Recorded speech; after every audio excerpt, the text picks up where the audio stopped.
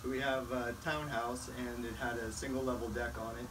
And we wanted to add a second level with a door out from the master bedroom and then screen in the middle portion.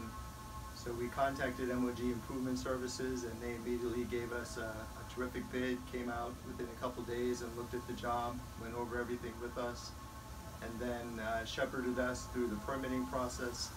And once the work began, all the work has been top quality. Everything has just been perfect. The, uh, the crews have been wonderful to work with, scheduled around our uh, daycare schedule and so forth, worked on weekends. And um, so I, I have nothing but good things to say about them. Contact MOG Improvement Services for your next project.